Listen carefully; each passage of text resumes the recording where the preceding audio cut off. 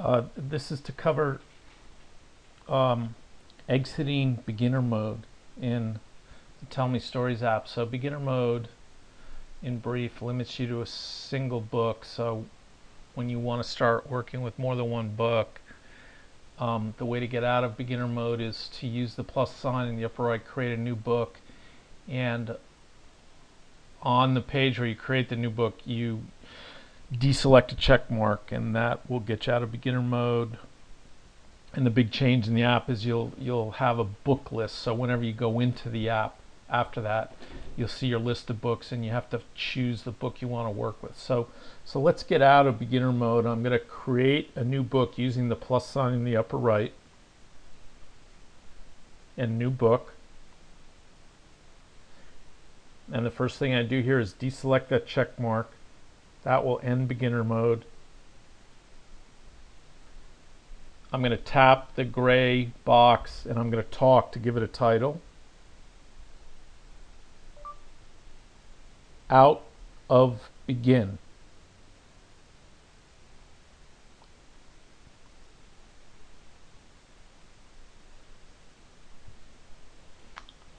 So there I am no longer in beginner mode. I've created a new book and what I'm going to do at this point before I add any pages to it is I'm going to quickly exit and enter the app.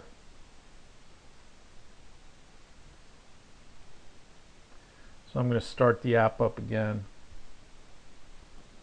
And there you can see this is no longer beginner mode. It tells me about the books I have. And in, and in your case, you only have two books, but I'm going to open up the menu. And again, you can do that by sliding the whole page to the right or using the menu icon in the upper left. So there's my menu. I'm going to list my books.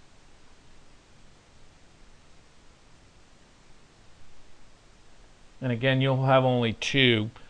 And the, the one right in the middle there is the one I just created has no pages so I'm going to select that in the list.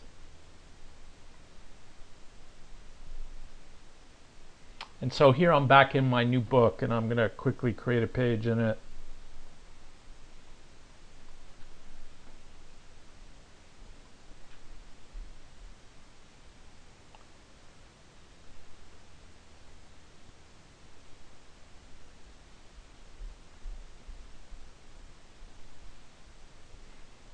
there I've selected a picture and the the narrative uh, mode here is a little bit different.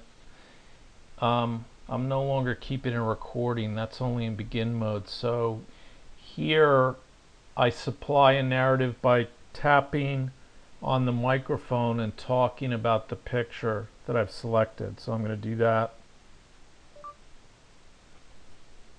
This is Giant Stadium in the evening in San Francisco.